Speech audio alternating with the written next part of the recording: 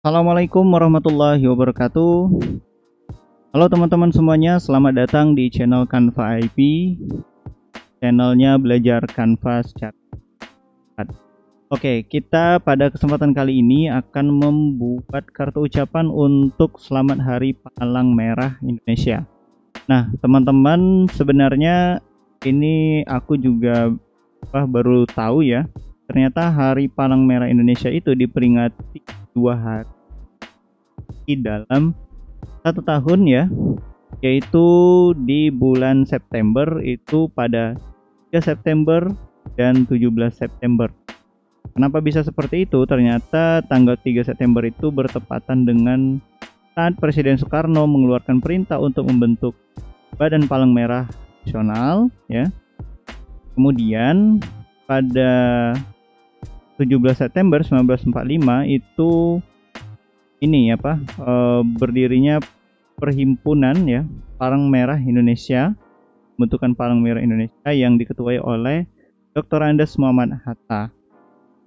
I, ya memang seperti itu teman-teman ya diperingati e, pada tanggal 3 September dan 17 September. Nah, pada kesempatan kali ini kita akan membuat kartu ucapan untuk selamat memperingati atau selamat hari Palang Merah Indonesia 17 September 2022. Konsepnya mungkin sama seperti yang sebelumnya saya buat. Nanti seperti ini ada logo, ada apa uh, tulisan selamat dan Palang Merah Indonesia, tapi mungkin tanggalnya saja dan gambarnya yang berbeda. Oke, jadi kita langsung aja teman-teman kita apa uh, buat di sini. Pertama-tama kita buat dulu lembar kerja baru. Nah, kalau teman-teman masih juga membuat lembar kerja baru di Canva untuk desain, itu bisa lihat video saya yang ada di sudut kanan atas. Kemudian setelah kita buat lembar kerja baru, di sini kita akan uh, ini ya, kita akan menambahkan logo untuk di atas ini Nah, kalau teman-teman juga masih bingung gimana caranya menambahkan logo ya, tuh bisa lihat video saya juga yang ada di sudut kanan atas. Nah, di sini sebenarnya kalau untuk logo Canva IP itu sudah memang sudah saya tambahkan sebelumnya. Kalau untuk logo palang merah itu teman-teman bisa cari saja di elemen ya. Ini tuliskan palang merah. Ini akan ada logo yang bisa kita pakai ya di sini. Nah intinya tuh ya tinggal dicari-cari aja ya teman-teman di sini tuh eh, logo-logo uh, yang bisa di, digunakan. Kalau saya ini menggunakan Indonesia. Ini ya. Kalau saya menggunakan yang ini, jadi nanti itu bisa disandingkan seperti ini. Nah, kemudian setelah kita tambahkan logo, kita tambah ucapan selamat e, memperingati ya. Kita buat saja seperti itu. Ini itu kita pergi ke teks, tambah subjudul, tambah judul maksudnya. Kemudian kita rapikan dulu ini ke sini. Kecilkan. Kemudian kita tambah subjudul dan kita tambah sedikit teks isi kita turunkan dulu. Ini kita tuliskan untuk tambahkan judul ini kita ubah menjadi tulisan selamat memperingati. Kecilkan tarik samping.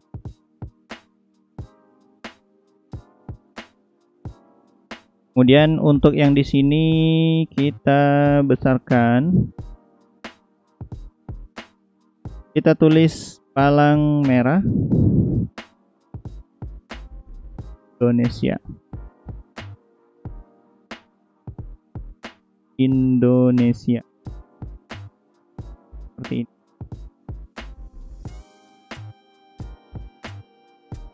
Ini kita buat 17 September 2022 untuk tahun kita menyesuaikan ya teman-teman. Kalau misalnya teman-teman lihat video ini pada tahun 2023 atau 2024 silakan disesuaikan saja. Selanjutnya kita akan ubah tulisan yang paling atas. Ini kita ubah fontnya maksudnya. Saya akan pakai font Chow Philomene ya. Teman-teman Chow Philomene ini bisa di search di pencarian font. Nanti akan muncul seperti ini. Kemudian untuk yang kedua saya pakai kita pilih-pilih dulu ya teman-teman saya akan pakai yang ini Open Sun Extra Blood dan yang terakhir saya akan pakai lagi Chow Philomene seperti ini kemudian untuk di bawah sini saya akan tambahkan gambar saya pergi ke foto dan di sini tuh banyak gambar ya. Kita di foto itu pergi ke foto terus ketikkan di sini menolong relawan. Ini bakal banyak sekali foto ya yang bisa kita uh, gunakan di sini sesuai dengan keinginan. Saya akan coba pakai foto ini saya besarkan. Nah lebih kurangnya seperti ini nanti. Kemudian kita akan tambahkan uh, di elemen lagi ya. Kita bermain di elemen tambahkan gradient gradient kita ketikkan. Kemudian kita pergi ke grafis. Di sini ada gradient yang warna putih ini ini kita bisa pakai. Kita klik. Nah nanti harapannya tuh jadi sebagian itu nggak kelihatan gitu ya ini. Kita klik lagi ini untuk yang di atas. Seperti ini ya teman-teman jadinya. Klik lagi. Ini untuk yang di atas ini. Nah ini kan logonya ke belakang gitu ya. Caranya adalah kita eh, blok ya. Kita klik kiri tahan kita blok gradient kita ini. Kalau gambarnya ini nggak usah ya. Ini batas ini berarti kita klik uh, di kanan ya. Mundur paling belakang. Ini ternyata fotonya juga keikut. Tapi nggak usah khawatir kita klik fotonya klik kanan mundur paling belakang. Oke jadi seperti ini ya teman-teman. Setelah kita buat seperti ini ini bisa kita atur misalnya cahayanya pengen kita naikkan lagi seperti ini ini bisa terkelihatan gitu Kemudian kita di bawahnya ini akan tambahkan sosial media. Caranya kita klik dulu tulisan ini, kemudian duplikat. Double klik, Ctrl A, kan uh, IP. Ini nama sosial media kita, ini kita kecilkan. Ini kita besarkan dikit tulisannya. Kita letakkan di tengah sini dan kemudian masih di elemen kita cari Instagram. Ketikkan Instagram di sini dan ada logo ini. Kita tambahkan di bawah sini. Ini gampang ya teman-teman. Kemudian kita blok ya. Terus kita tengahkan. Ini udah tengahnya selanjutnya di bawah sini kita coba eh, tambahkan di elemen lagi garis dan bentuk. Kita akan kasih line. Ini ya saya pakai yang ini. Kita buat line yang ke sini klik kita klik dulu. Sorry kita klik. Sampai muncul ini di kanan dan mundur paling belakang. Kemudian kita buat menjadi warna merah. Ya. Warna merah ini tulisannya ya klik keluar dulu. Ini kita ubah jadi warna putih. Ini warna putih ya untuk tulisan Canva IP-nya biar kelihatan seperti itu. Ya berbeda dengan uh, oke okay, seperti ini. Nah berbeda dengan lain di belakangnya. Nah ini sebenarnya udah jadi teman-teman ya. Kemudian kita bisa tambahkan mungkin bendera di sini. Kita ketikkan di elemen juga bendera. Ya ini banyak pilihan. Daerah merah putih. Ini ya, banyak pilihan di sini.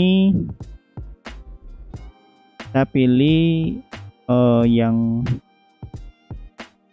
menarik ya. Kita ke grafis saja. Kita coba pakai yang ini. Kita taruh di samping sini.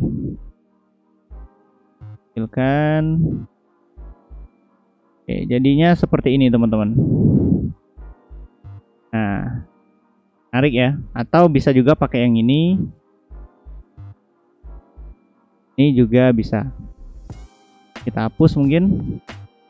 Kita pakai yang sebelah sini. Atau ini juga bisa dipindahkan ke sini. Caranya kita balik. Jadi dia akan berbalik seperti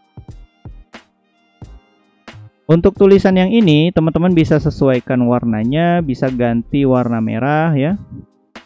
Kayak gini ini juga menarik nih kalau kita ubah tulisannya menjadi warna merah seperti ini.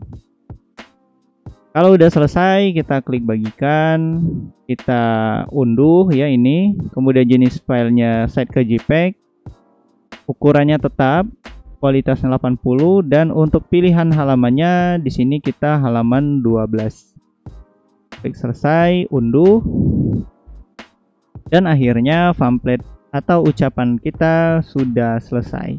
Ya, gampang sekali teman-teman. Selamat mencoba. Oke teman-teman, itulah tutorial kita kali ini. Semoga bermanfaat, bisa diikuti, dan kalau ada yang belum mengerti bisa ditanyakan di kolom komentar.